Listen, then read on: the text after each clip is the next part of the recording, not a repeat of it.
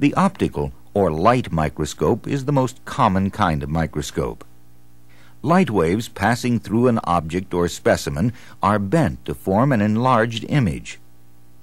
There may be one or two lenses used to accomplish this. A single lens microscope is a magnifying glass. It can be used to enlarge all kinds of objects, from small insects to the patterns of lines in your fingerprint. A magnifying glass with a power of 3 makes things appear three times as large. Its power is written like this, three times.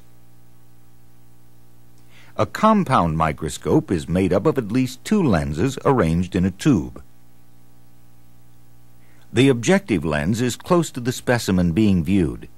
It will magnify the specimen just as a magnifying glass does. A second lens, called the ocular, or eyepiece, is at the other end of the microscope tube. It is nearest your eye and will magnify the image from the objective lens even more.